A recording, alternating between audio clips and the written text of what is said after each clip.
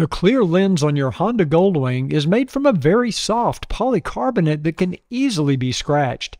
Special care should be taken when cleaning the lens of the dash. Never use any product designed for cleaning glass. The chemicals could damage the lens. A mixture of 10 parts clean water to 1 part mild detergent in a spray bottle works best.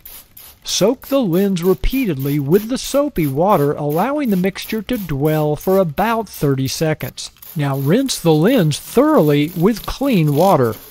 Use a clean microfiber cloth, preferably one that is only used for cleaning your dash lens. Wipe gently from side to side, letting the weight of the rag do the work. Links to the products I use are in the description of this video.